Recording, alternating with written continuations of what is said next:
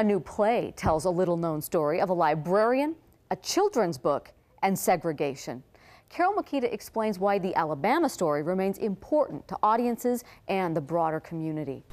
Epitaph for Dixie. Segregation, is it justified? Strange. Not all librarians are heroes or heroines, but Emily Reed was. What she did in 1959 in Montgomery, Alabama, inspired playwright Kenneth Jones. Controversial.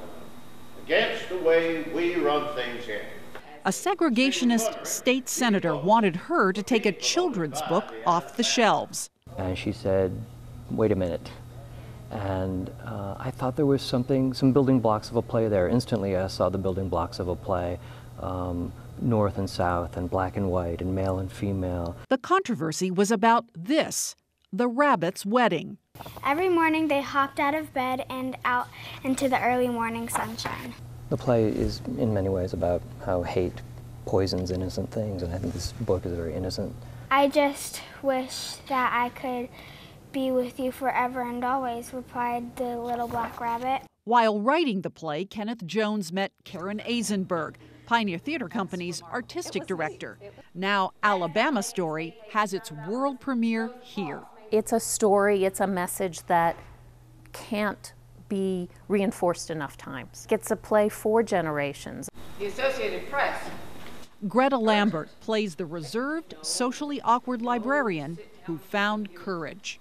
So smart and so intelligent and um, has such a passion about the book and the fact that all books should be available to all people at all times. Um, that is, it's very remarkable, and I'm very respectful of her.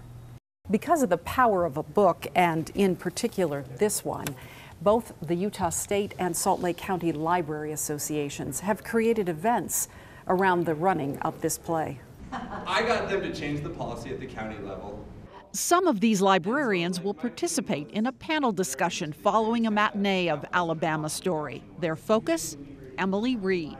She set the stage for me to do what I do as chair of intellectual freedom in Utah, to give me the confidence to do what I do because she was a pioneer and she took chances. I hope audiences walk away with the idea that um, books can change your life. The two little rabbits were wed and lived together happily. Playwright Kenneth Jones says the facts in his Alabama story were once a footnote in American history.